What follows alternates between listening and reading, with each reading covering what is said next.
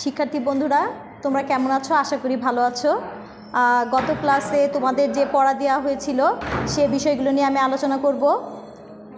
আমরা তোমাদেরকে আজকে প্রথম আমাদের শীটের মধ্যে আমাদের যে অধ্যায়ে আলোচনা করা হয়েছে ডিফাইন অ্যান্ড গিভ এক্সাম্পল অর্থাৎ নির্দেশনা করো এবং উদাহরণ দাও।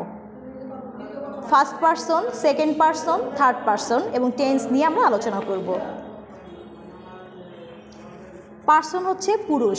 পার্সন মানে পুরুষ। এখন দেখো এখানে আছে পার্সন, কাকে বলে?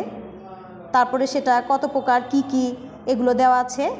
আমরা তোমাদের যেটা দিয়েছি যে প্রথমে শীটের মধ্যে ফার্স্ট পার্সন এখন দেখো ফার্স্ট পার্সনটা কি? ফার্স্ট পার্সন হচ্ছে উত্তম পুরুষ। বক্তা নিজেকে বোঝাতে যে প্রোনাউন বা সর্বনাম ব্যবহার করে তাকে ফার্স্ট পার্সন বা উত্তম পুরুষ বলে। যেমন I, me, we, us, our ইত্যাদি। মানে আমি, আমাকে, আমরা, আমাদের এগুলো বোঝাতে ফার্স্ট পার্সনকে বোঝায়। সেকেন্ড পার্সন মানে মধ্যম পুরুষ। বক্তা যার সাথে কথা বলে, তাকে বোঝাতে যে প্রোনাউন বা সর্বনাম ব্যবহৃত হয়, তাকে সেকেন্ড পার্সন বা মধ্যম পুরুষ বলে, যেমন ইউ, ইয়োর, ইয়োর্স, তুমি, তোমরা, তোমাদের। এগুলো বোঝাতে সেকেন্ড পার্সনকে বোঝায়। তারপর আছে থার্ড পার্সন থার্ড পার্সন হচ্ছে বক্তা, যার সম্বন্ধে কোনো কিছু বলে বা নাম বোঝাতে যে প্রোনাউন বা সর্বনাম ব্যবহার করে, তাকে থার্ড পার্সন বলে।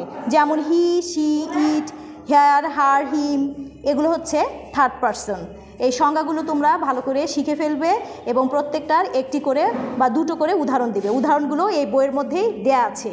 ফার্স্ট পার্সনের আই মি, উই, আস এখান থেকে যে কোনো দুটো উদাহরণ দিয়ে দিবে। সেকেন্ড পার্সনের উদাহরণ এখান থেকে দুটো দিয়ে দিবে। থার্ড পার্সনের উদাহরণ এখান থেকে যে কোনো দুটো দিয়ে দিবে। তারপর আছে আমাদের টেন্স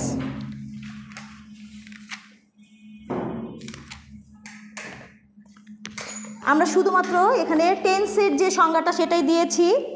টেন্স হচ্ছে কোনো ভার্বের কাজ কোনো সময় সম্পূর্ণ বা সংগঠিত হয় বা হয়েছিল বোঝাতে ভার্বের যে রূপগত পরিবর্তন হয় তাকে ভার্বের টেন্স বা ক্রিয়ার কাল বলে। এটা লিখে তারপরে তোমরা একটা করে উদাহরণ দিবে, যেমন, Alvi goes to Dhaka today.